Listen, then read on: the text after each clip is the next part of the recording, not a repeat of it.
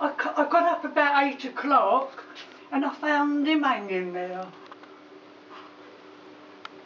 I thought myself, I bought that, there's no lid on it, I didn't, That's I, won't, all right. I won't put that out again. No problem. Well, we'll, we'll I think we'll probably have to cut it open. I'm afraid. That's all right, To get him out. worry.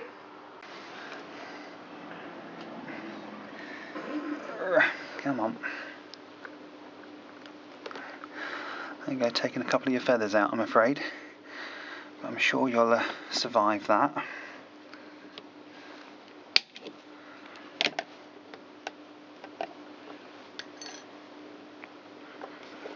You might have to take a couple more out.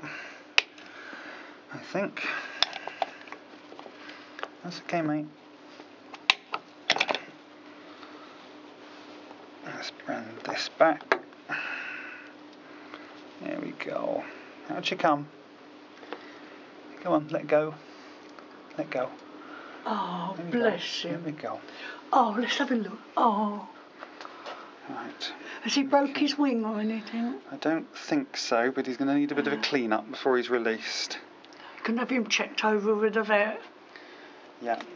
Okay. He's got some bruising, quite a bit of bruising there, so Oh. we'll have to bring him in and Can you take him, him. with you? Yeah, we'll take him into the hospital and see what we ah. can do.